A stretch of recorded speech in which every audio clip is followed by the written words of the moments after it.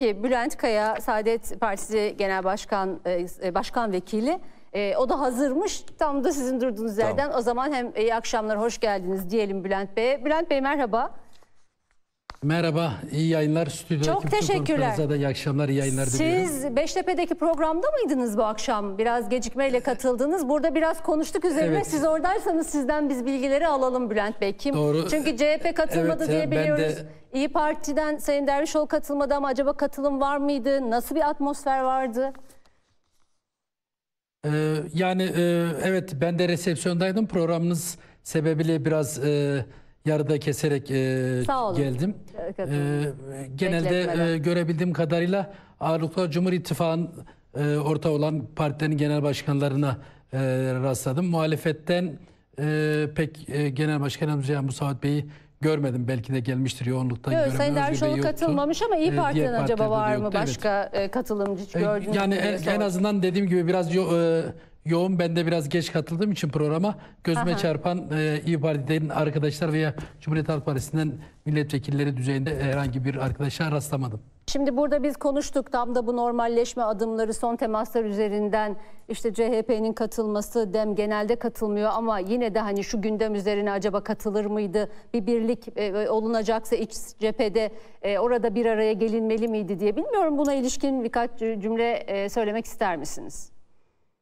Size Şöyle ilk- tabii yani Buyurun. e, cum- Cumhuriyet kutlamaları sadece e, Cumhurbaşkanlığı e, külliyesinde verilen akşam resepsiyonuyla sınırlı bir e, program değil. Gün içerisinde e, kutlama programları oldu, Anıtkabir'deki törenler oldu. Onun dışında da illerde valiliklerin programları oldu. Yani Cumhuriyet kutlamalarına bir bütün olarak bakmak lazım. Yani e, resepsiyonla ilgili siyasi bir yaklaşım göstermiş olabilir. e, bir kısım siyasi partilerimiz onların takdiridir ama bu Cumhuriyet kutlamalarını protesto ettikleri manasına gelmez. Dediğim gibi Anıtkabir de yine bir devlet töreni. Ee, yine Sayın Cumhurbaşkanı gün içerisinde e, Cumhuriyet'in kuruluşuyla ilgili tebrikleri kabul töreni de e, yine bunun bir parçasıydı. Akşam resepsiyonu daha ziyade bir Sayın Cumhurbaşkanımızın konuşması ve ardından senfoni orkestrasının konseriyle devam eden bir programdı. Dolayısıyla e, yani akşamki programa katılmamayı tercih etmiş olabilir partilerin bir kısmı. Evet. Yani bence bu e, yumuşama iklimine aykırı bir şey olarak görmemek lazım bunu. Şimdi e, yarın e, grup toplantısında Cumhurbaşkanı Erdoğan'ın e, Sayın Bahçeli'nin Öcalan çağrısına ilişkin e, ne söyleyeceği merak ediliyor. Daha e, daha bunun özelinde e, net bir ifadesi olacak mı diye merak ediliyor. Buna ilişkin beklentiniz nedir Bülent Bey? Ankara'da neler konuşuluyor? Şöyle aslında Serap Hanım yani bu süreç başladıktan sonra e, karanlıkta fili tarif edip her, hep birimiz fil tarifimiz üzerinden birbirimize kavga ediyoruz.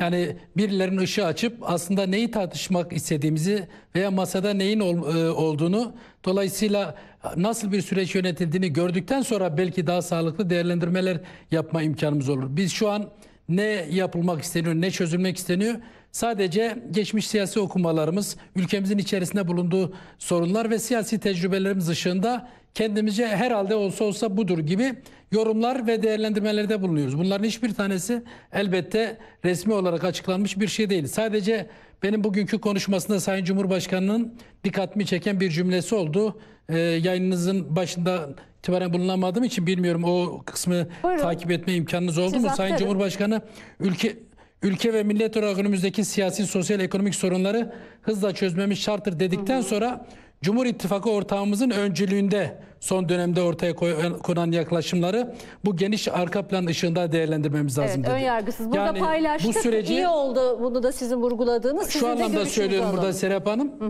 Yani esas e, dikkat çekici cümle Cumhur İttifakı ortağımızın öncülüğünde. Yani bu sürecin hani hep söylenir ya Sayın Cumhurbaşkanı'nın bilgisi dahilinde mi veya birlikte verilen bir karar mı diye. E, Cumhur İttifakı ortağımızın öncülüğünde kelimesi bilmiyorum bir siyasi olarak benim dikkatimi çeken bir cümleydi. Çünkü öncülüğünde demek bu süreci başlatan veya yürüten e, ağırlıklı olarak Milliyetçi Hareket Partisi lideri Sayın Devlet Bahçeli'nin olduğuna dair bir çağrışım yaptırıyor. Ama haberdar Ama olmadığı anlamına bir- gelir mi? Habersiz olduğu ya da önceden Kesinlikle. planlamadığı Böyle- anlamına gelir Şimdi- mi bu ifadesi? Şöyle Cumhur İttifakı'nın çok daha deta- e, detay ve daha basit konularda bile birbirinden habersiz hareket etmeyeceğini varsaydığımızda böylesine kritik bir e, gelişmeden elbette Sayın Cumhurbaşkanı'nın haberinin olmadığını beklemek e, biraz gerçekçi olmaz. Ama şunu da e, ifade ediyorum yani burada belki de bir görev paylaşımı söz konusu olabilir. Çünkü niyetinde çözüm süreci diye büyük umutlarla başlanan daha sonra da kamuoyunda hiç de iyi hatıralarla sonuçlanmayan bir süreci yaşadık bu ülkede.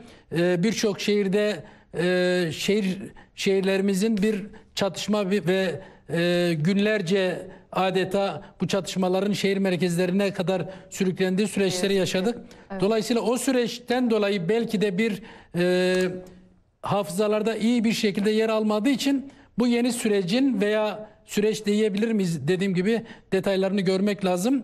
Ee, Milliyetçi Hareket Partisi ve Sayın Devlet Bahçeli üzerinden veya onun önceliğinden yürütülmüş olmasını Cumhur İttifakı bir tercih olarak da ortaya koymuş olabilir. Yani dolayısıyla bu bir görev paylaşımı şeklinde de olabilir. Bu görev süreci paylaşımında o kamuoyuna- zaman AK Parti hangi görevi üstlenecek bu ilk açıklamanın ardından? Şöyle yani birlikte planlanan bir süreç olduğu konusunda benim de endişem yok. Ancak dediğim gibi bu süreci daha fazla kamuoyunda bir güven inşa etmek, dediğim gibi geçmiş olumsuz sonuçlarla e, hafızası e, lekelenen toplumumuzun, milletimizin kaygılarını belki de Sayın Bahçeli üzerinden yani tamam evet biz yeni bir sürece başlıyoruz ama asla o eski kaygılarınız özellikle kamu güvenliğiyle ilgili hususlar bir daha e, söz konusu dahi olamaz şeklinde bir doğru bir çıkış veya topluma özellikle milliyetçi kesime ya da e, ülke bütünlüğüyle ilgili hassasiyeti olan herkese çünkü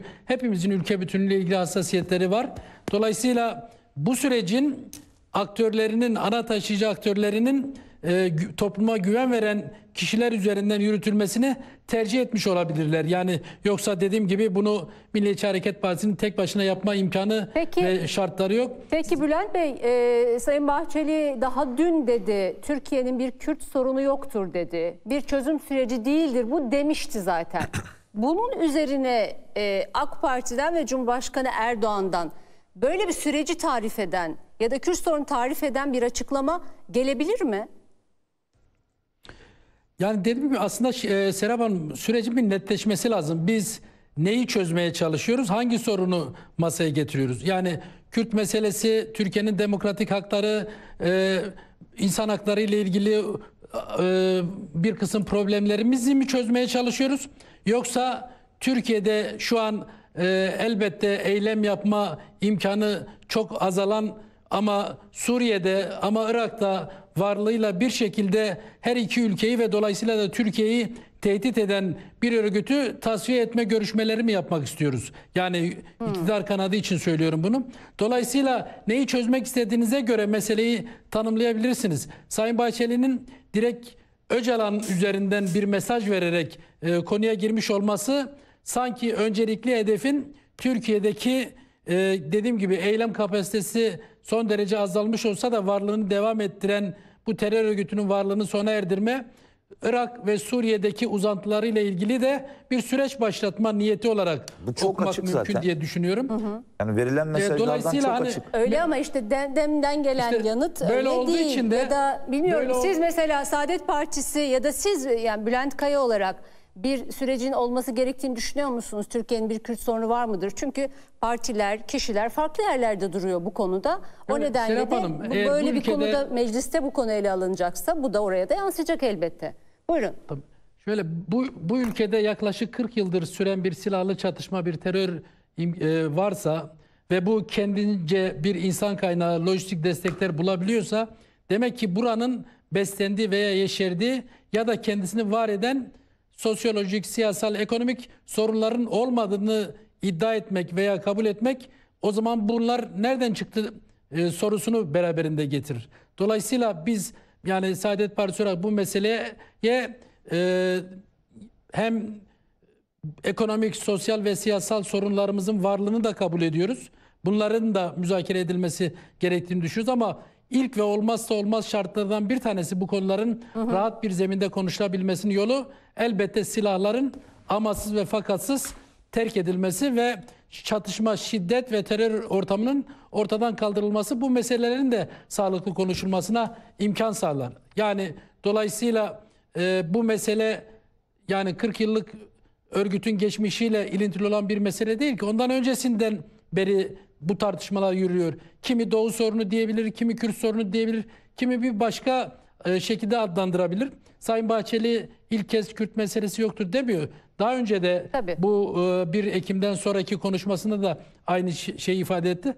Dolayısıyla bu süreçleri konuşabilmeyi ben önemli ve değer atfettiğim için kişilerin meseleyi nasıl tanımladığından bağımsız olarak bu konunun konuşulmaya başlanıyor olmasını kıymetli buluyorum. Hatta Sayın Bahçeli'nin Öcalan'ın mecliste konuşulmasına atıfta bulunması bence bu meseleye dair e, tarafların veya söz serdetmek isteyen insanların çok daha özgür bir şekilde eteğindeki taşı döküp bütün Hmm. hususlarda kendi kanaatlerini ortaya koymasına imkan sağlayan Yani bir bilerek çıtayı o kadar. Yani hani o kadar şaşkınlık yaratıcı bir yere koydu ki e, al- alan açılsın her bu şey konuya normal karşılanır. Pardon? Hayır yani ö- öyledir manasında demiyorum ama ben öyle okuyorum. Çünkü dediğim gibi e, daha önce de hem ülkemizde hem bölgemizdeki bu terör çatışma ve şiddet ortamını alternatif yollarla ortadan kaldırabilir miyiz şeklindeki görüşler gündeme geldiği zaman herkesin ilk sorduğu sorulardan bir tanesi iyi de dağdaki örgüt elemanları ne olacak? Öcalan ev hapsine mi çıkarılacak? Peşinen bu konular üzerinden esas meseleleri konuşamaz hale geliyorduk.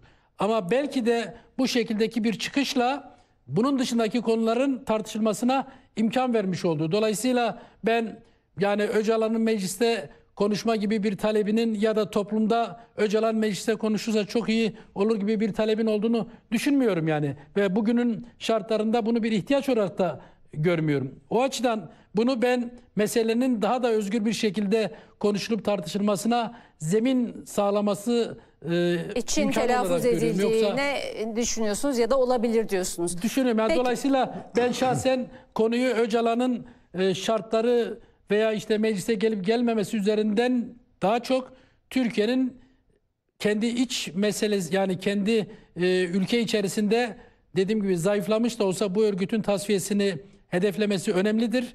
Yine hem Irak'taki hem Suriye'deki Kürtlerle daha sıcak diyaloglar kurabilmesi, onların da Türkiye Cumhuriyeti'ni bir dost devlet olarak ve hem ekonomik hem siyasal e, hem de sosyal ilişkilerini artıracak bir devlet olarak gör- e, görmelerini bölge barışı açısından son derece önemsiyorum. Daha bir hafta önce Irak Federal Kürt Yönetimi Başkanı Neçirvan Barzani Sayın Cumhurbaşkanımız tarafından Buradaydı. külliyede misafir edildi. Dolayısıyla bu bu tarz yani Türkiye'nin bölgedeki Türkmenlerle, Kürtlerle, Araplarla sıcak ilişkiler, ilişkiler geliştirmesi bu coğrafyanın ve bu ülkenin faydasınadır. Dolayısıyla bu aramızdaki husumetleri veya olabilecek bu diyaloğun önündeki engelleri ortaya ortadan kaldırmaya dönük adımları kıymetli buluyorum. Yani her şeyden önce dediğim gibi masada bu konuların konuşulabiliyor olması, siyasetin bu konularda devreye giriyor olması ve birbirimize hainlikle itham etmeden bu konuları müzakere etme zeminin oluşmasını Önemli. son derece kıymetli buluyorum.